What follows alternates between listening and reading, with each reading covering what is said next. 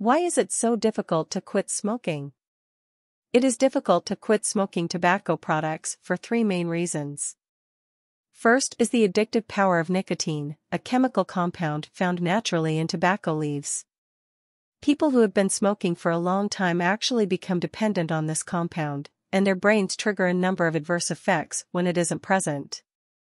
Second, people often smoke as a matter of routine or habit, and giving up can be hard because it requires a change of pattern and in some cases also a change of friends or social venues. Quitting also usually triggers physical withdrawal symptoms that can last a long time. There are frequently a number of psychological reasons that go along with all of this, too. Smokers often light up when they're stressed, for instance, and giving up often means finding new tactics. There are a number of different products people can buy to help them quit, including nicotine patches and gums. Therapy and support groups are also beneficial for many people. Chemical properties of nicotine. Addiction is one of the biggest challenges for people looking to quit. Nicotine is a stimulant drug that occurs naturally in the roots and leaves of the tobacco plant, and its presence a big reason why smoking these leaves is so popular. The drug makes people feel good and can relieve tension and stress, at least in the short term.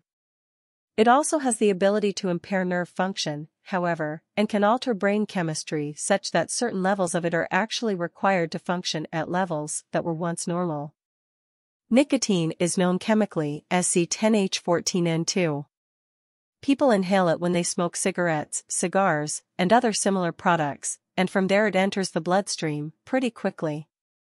It travels through the heart and to the brain, where it triggers generally pleasant sensations. Over months and years, these centers of the brain become accustomed to receiving and processing the drug, and people will begin to crave it if they don't have it. Over time, most people build up a tolerance to the drug, too, which means that they need to smoke more to get the same effects. In this sense, the longer a person waits, the harder it will likely be to quit. Importance of routine and habit.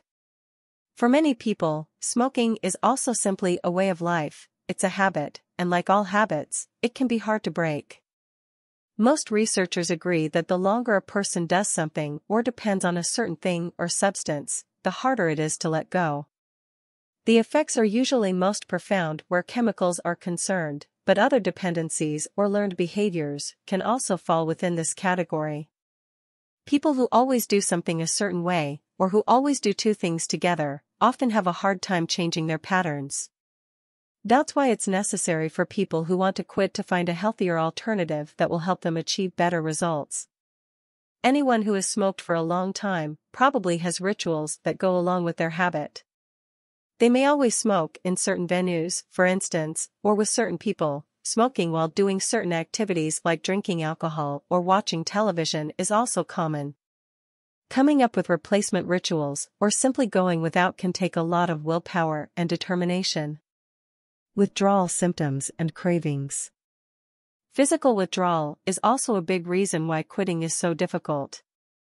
In a lot of ways this goes hand in hand with the chemical aspects of the addiction in the first place. When a person's brain is accustomed to getting certain levels of nicotine every day, tapering off or quitting can cause not just cravings for more, but also adverse physical reactions. People often begin feeling sick or nauseous, trembling, headaches, and insomnia are also common. Depending on how long the smoking has been going on, these symptoms can last for several weeks. Psychological aspects. The psychological aspects of nicotine addiction can persist for much longer. Smokers frequently return to the habit when under stress, for example. They may also return to it as a form of weight control. Nicotine often acts as an appetite suppressant, and people often find that they eat more and thus gain more weight when they stop smoking. Tips and tricks for cutting back. Most people find that they can't quit smoking unless they really want it, and the exercise often takes a lot of work and motivation.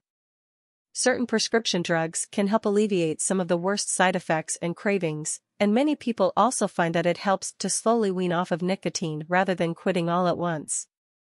Getting healthier through better diet and organic supplements also helps in strengthening the mind and fighting addiction.